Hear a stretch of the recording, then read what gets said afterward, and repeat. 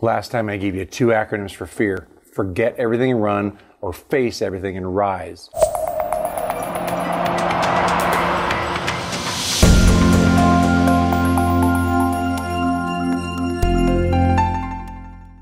This is Wally Kowis, Captain of Culture Realty One Group.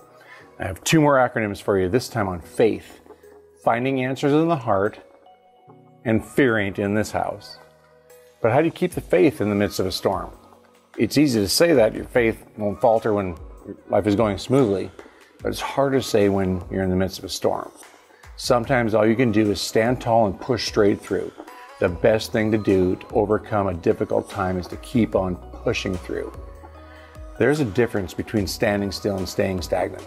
Choosing to stand firm against your opposition is still a decision. Staying the course is a choice. Standing is a move.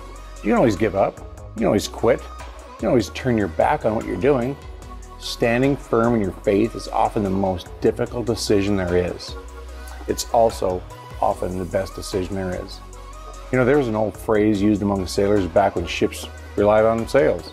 It was this hold fast.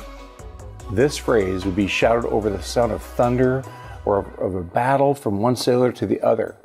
When this phrase was used, it meant to stay at your position, to remain tightly secured in the face of adversity. When a storm is going over your boat and the going gets tough, stand firm, hold fast.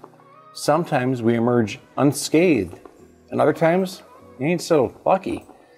The way I see it is that you are a survivor of every single storm so far. You have emerged victorious in every single hardship that you have been through up until this point. Fear is nothing. Fear is a mirage. It's a temporary emotion based on a temporary situation, a tool that the enemy uses to keep us stagnant. Fear is a natural response to the unknown, but you can't allow fear to control your life. Hear me on this. Fear is what comes before change, and change is necessary for growth. Your want for success, happiness, and love must be stronger than your fear of failure.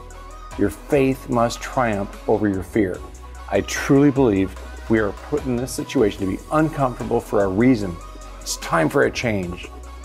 Faith over fear, my friends.